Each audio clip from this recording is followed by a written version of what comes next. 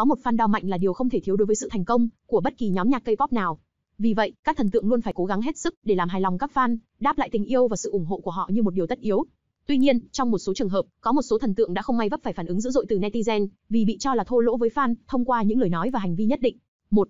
Siêu Hoa, G Idol bị cho có những lời lẽ sức sược với fan. Trong số các thần tượng, Siêu Hoa dường như là người gây tranh cãi nhiều nhất. Đáng chú ý, nữ idol bị gọi tên vì có những hành động và thái độ không đúng mực khi giao lưu với người hâm mộ. Là một người tích cực sử dụng mạng xã hội, Siêu Hoa thường tương tác với người hâm mộ qua các bài đăng trên Instagram và thậm chí trả lời bình luận của họ. Việc mà được idol chú ý đến bình luận của mình là một điều hết sức vinh dự với fan. Tuy nhiên, có vẻ như một số người hâm mộ của Siêu Hoa lại không cảm thấy như vậy, như một sự việc liên quan đến thái độ gần đây. Cụ thể, tiểu sử trên Instagram của nữ thần tượng có viết là nhớ giữ ấm vào mùa đông, được coi là lời nhắc nhở ngọt ngào và thân thiện của cô nàng đến với người hâm mộ. Và mùa hè đến rồi mà Siêu Hoa vẫn không thay đổi dòng chữ đó, một fan đã bình luận trên bài đăng của nữ idol, khuyên Siêu Hoa nên thay đổi phần tiểu sử của mình nên là nhớ bôi kem chống nắng, để phù hợp với thời tiết. Sẽ không có gì đáng nói, nếu như Siêu Hoa không trả lời fan với thái độ có phần khó chịu, sao cậu không quản tài khoản của tôi luôn đi? Nhiều người sừng sốt trước Siêu Hoa cho rằng fan không hề có ý đồ xấu, mà chỉ đưa ra lời đề nghị rất lịch sự, vậy mà Siêu Hoa đã phải chế nhạo cô ấy như vậy. Họ tin rằng nữ idol đã quá nhạy cảm và không tôn trọng người hâm mộ của cô ấy. Mặt khác, một số Neverlands cho rằng những người nhạy cảm là netizen, thay vào đó họ cho rằng Siêu Hoa có lẽ chỉ đã nói đùa và không có ý xúc phạm. Nhiều người ủng hộ nữ idol vì cô ấy từ lâu đã nổi tiếng với tính cách thẳng thắn và có thói quen trêu chọc fan. Ngoài Instagram, thành viên G Idol cũng được cho là còn gây ra tranh cãi trên các nền tảng trực tuyến khác. Trong một lần livestream, cô nàng phàn nàn rằng một video cô ấy chơi đùa với chó chỉ nhận được 227.000 view và yêu cầu người hâm mộ của cô nàng phải cày được ít nhất 500.000 view.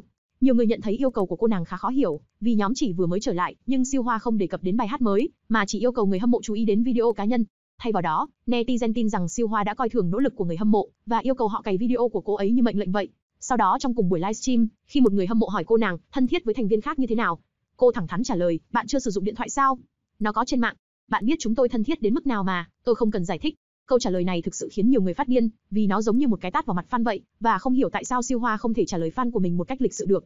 Tuy nhiên, một số khác lại cho rằng, nữ idol đang sống thật với chính mình, và cô nàng không có nghĩa vụ phải làm hài lòng tất cả mọi người.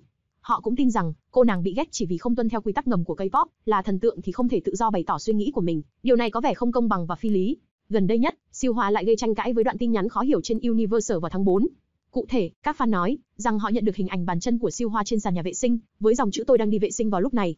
Hành động này của cô nàng được cho là đã kích động nhiều netizen, vì họ không bỏ tiền vào Universal để xem những nội dung như thế này. Một số người thậm chí còn cho rằng Siêu Hoa hơi kỳ lạ khi nghĩ rằng fan sẽ quan tâm đến những điều nhạy cảm của thần tượng như vậy. Trong khi người hâm mộ của cô nàng bảo vệ rằng nữ idol chỉ đang cố gắng gần gũi với người hâm mộ và tương tác với họ một cách hài hước.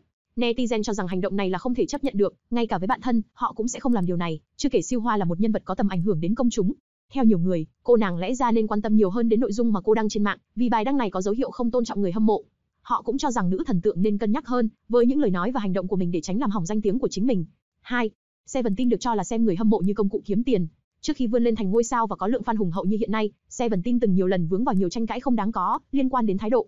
Vào năm 2017, một fan bất ngờ chia sẻ một tờ ghi chú gây tranh cãi mà cô ấy nhận được từ một buổi fan meeting.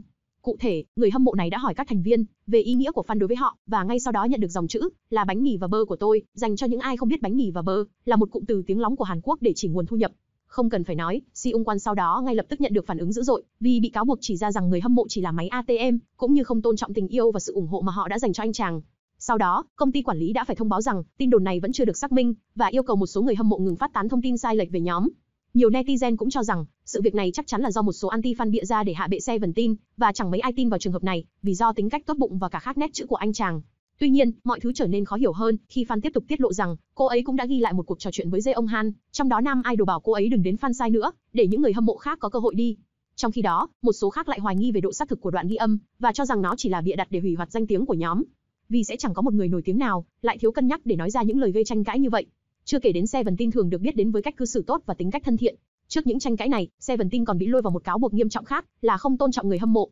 Vào tháng 5 năm 2016, một tờ báo Hàn Quốc đưa tin, một số fan đã tìm thấy những bức thư mà họ gửi cho các anh chàng nằm trong thùng rác trước ký túc xá của Seventeen. Một số bức ảnh cho thấy, các bức thư thậm chí còn chưa được mở ra xem. Và điều đó đã thực sự làm tổn thương người hâm mộ, vì đó là những bức thư được viết từ những lời chân thành của fan. Bài viết cũng chỉ trích Seventeen đã thiếu tôn trọng người hâm mộ. Tuy nhiên sau đó, một netizen thừa nhận đã phát tán thông tin sai lệch về nhóm và xin lỗi Seventeen vì những tranh cãi. Công ty cũng đã lên tiếng về việc này. Chúng tôi không biết gì về việc này. Sau khi kiểm tra với các thành viên, họ đã nói không bao giờ vứt bất kỳ lá thư hoặc quà tặng từ người hâm mộ. Nếu chúng vô tình bị vứt đi thì đó có thể là do sơ suất của nhân viên. Đúng là mối quan hệ giữa idol và fan luôn là một mối quan hệ phức tạp. Jin Răng God Seven từng ví mối quan hệ đặc biệt này giống như khoảng cách với lò sưởi vào mùa đông vậy, nếu bạn đến quá gần thì sẽ bị bỏng, nếu bạn đi quá xa thì sẽ bị lạnh. Vì vậy, cả fan và idol cần phải chú ý đến lời nói và hành vi để dành cho nhau sự tôn trọng nhất định.